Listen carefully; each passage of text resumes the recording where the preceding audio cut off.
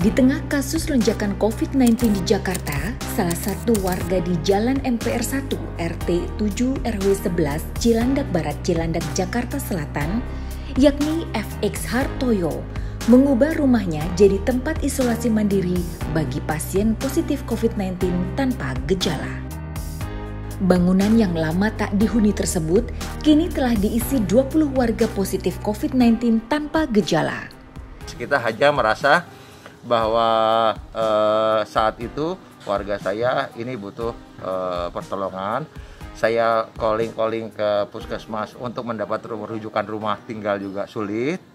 Uh, di mana rumah sakit juga begitu. Akhirnya sudah nih kebetulan semuanya OTG OTG kita tempatkan di satu tempat seperti ini. Rumah dua lantai dengan luas lahan 3000 meter persegi memiliki kapasitas menampung hingga 30 orang.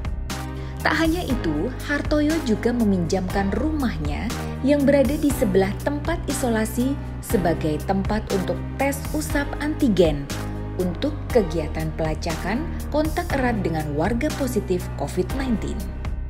Untuk kebutuhan pangan, tersedia dapur umum dengan pasokan bahan makanan yang disediakan kepolisian bersama dinas sosial setempat. Petugas tiga pilar kemudian memanfaatkan rumah tersebut sebagai lokasi isolasi terpusat agar memudahkan pengawasan warga terpapar virus corona.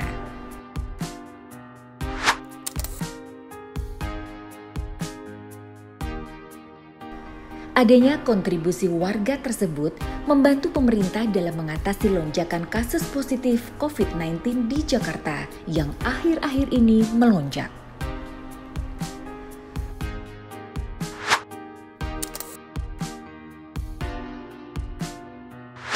Saya berharapnya sih akan adalah rumah-rumah yang bisa dijadikan tempat untuk isolasi mandiri bagi warga-warga yang memang uh, tempat tinggalnya agak agak sulit.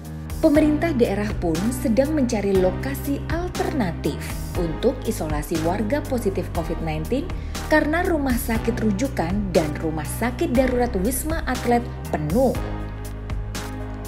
saat ini, beberapa fasilitas yang dijadikan lokasi alternatif isolasi pasien COVID-19 tanpa gejala di Jakarta Selatan, di antaranya Rumah Susun, Pasar Rumput, dan Geraha Wisata Ragunan.